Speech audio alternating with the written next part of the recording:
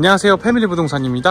부천시 여기 심곡동에 위치한 현장이고요. 부천 남부 쪽에 위치한 준신축 현장입니다. 올수리된 투룸이고요. 거실이 있는 투룸입니다.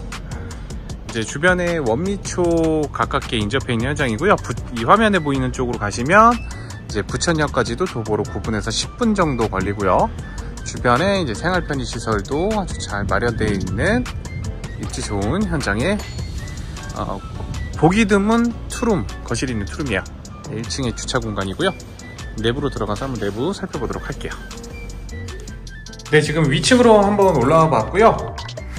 내부는 아주 깔끔하게 올수리 되어 있는 현장입니다. 되게 이제 신축 같은 느낌으로 올수리를 잘 해놨고요. 입구 쪽에는 이렇게 여닫이 중문이 시공이 되어 있습니다. 네, 전실부터 한번 살펴보실게요. 전실 같은 경우 이문 키높이 신발장에 있는 전실 모습이고요.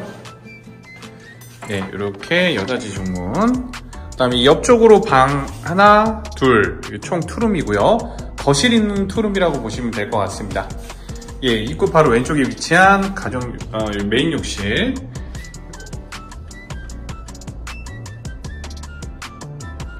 네, 이렇게 보시면 메인 욕실 깔끔하게 온수리 되어 있고요. 플래스톤 앞장 네, 언더볼 세면대도 시공되어 있습니다. 보시면 거실 있는 투룸이고요. 거실도 이 정도면 그래 널찍, 널찍한 편입니다. 주방 같은 경우에는 네, 짧은 일자형 주방이고요. 벽체 타일까지 올술이 되어 있습니다.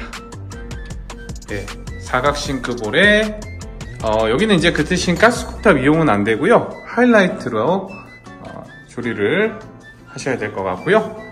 이제 실링팬 설치되어 있는 거실 모습.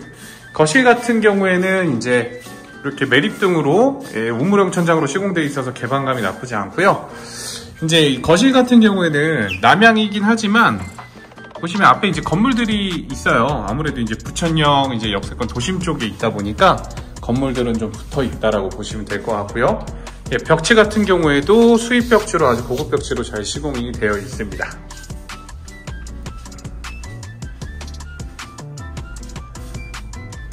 네, 안방에 이제 베란다 있는 방 모습이고요.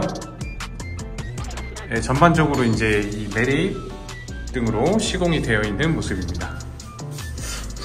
빨래 건조대도 설치되어 있는 예, 베란다고요. 베란다도 이 정도면 제법 널찍한 것 같습니다. 네, 세탁기 두시고도 이 앞쪽으로 이제 공간이 넉넉하기 때문에 다른 짐들도 좀 같이 두실 수 있을 것 같아요.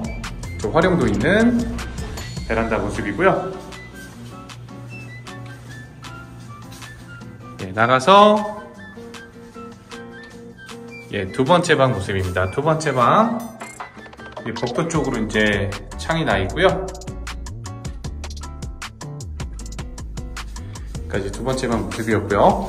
네, 12년식 이 정도면 이제 좀 깔끔한 준신축이고요. 원미초 인근이고요. 부천역까지는 도보로 약 9분 정도 거리에 위치한 현장입니다. 주변 생활 편의 시설도 좋은 위치의 현장이고요. 예, 추가로 궁금한 사항은 언제든 편하게 유선 문의 주시고요. 예, 거실 있는 투룸, 저렴한 투룸 소개였습니다. 실거주 및 투자 가능하실 것 같고요. 구독과 좋아요, 알림 설정 부탁드리고요. 여기까지 패밀리 부동산이었습니다. 시청 감사드립니다.